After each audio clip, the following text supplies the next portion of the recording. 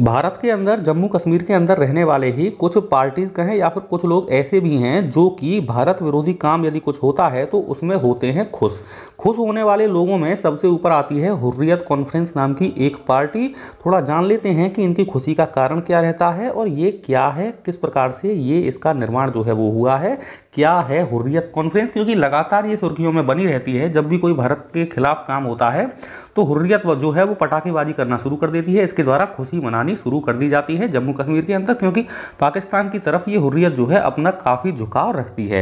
ये हुर्रियत कॉन्फ्रेंस क्या है? इसका मकसद क्या है और इसकी शुरुआत कब हुई थी? ये एक ऐसा संगठन है जो कि जम्मू कश्मीर में अलगाववाद की विचारधारा को प्रोत्साहित करती है। अलगाववाद यानी कि भारत से अलग करवाना या फिर एक विचारधारा को पैदा करना लोगों के अंदर कि आप भारत का हिस्सा नहीं हैं।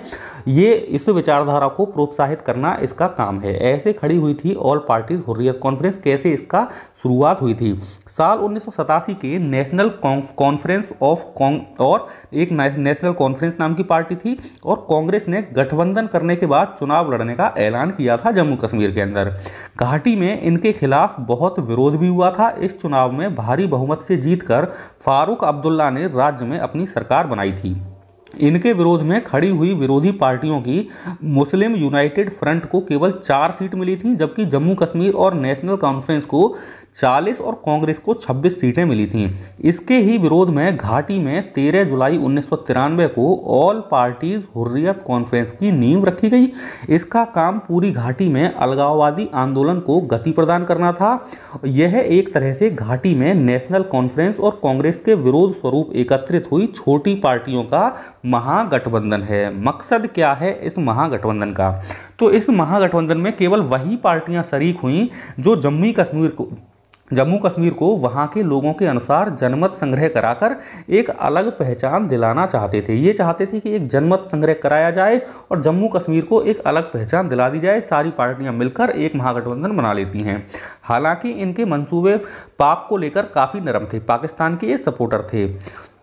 ये सभी मौक़ों पर भारत की अपेक्षा पाक से अपनी नज़दीकियाँ दिखाते रहे हैं। नब्बे के दशक में जब घाटी में आतंकवाद चरम पर था, तब इन्होंने खुद को वहाँ एक राजनीतिक चेहरा बनाने की कोशिश की, लेकिन लोगों ने इसे नकार दिया। इनका कहना था, ये स्थानीय लोगों के मन की बात को सामने लाने का काम कर रहे हैं, लेकिन इनके पाक अधिकृत कश्मीर पीओ के जो है, उस पर कोई राय नहीं है। इनके ऊपर आरोप है कि ये विदेशों से धन लेकर घाटी में अलगाववादी विचारधारा को बढ़ाते हैं। इनके कई नेताओं पर देश विरोधी कार्यों में शामिल होने के आरोप हैं।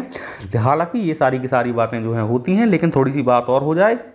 क्या है? हुर्रियत आप पूरी तरह से समझ चुके होंगे। अब थोड़ी सी चर्चा करते हैं कि यूनाइटेड किंगडम जो है यूके उसने कन्फर्म कर दिया है कि जी ट्वेंटी की मीटिंग जो होने वाली है कश्मीर में, उसके अंदर ब्रिटिश हाई कमीशन ने कन्फर्म किया है कि यूके जो है, वो अटेंड करेगा। जब यूके अटेंड करेगा तो ये हुर्रियत टुर्रियत टाइप के जो लोग हैं, इनको शायद ये बात पसंद ना आए। उम्मीद है साथियों, पूरा सेशन आपको अच्छी तरह से पसंद आया हो, समझ में आया हो। अगर अच्छा लगा हो तो वीडियो को लाइक करना। अपने साथियों के साथ शेयर करना बिल्कुल ना भूलें। और अगर चैनल पर नए हैं तो परिवार में आपका बहुत बहुत स्वागत है। चैनल को सब्सक्राइब ज़रूर कीजिए। मिलेंगे अगले सेशन में। तब तक के लिए आप सभी लोगों का बहुत बहुत धन्यवाद। जय हिंद।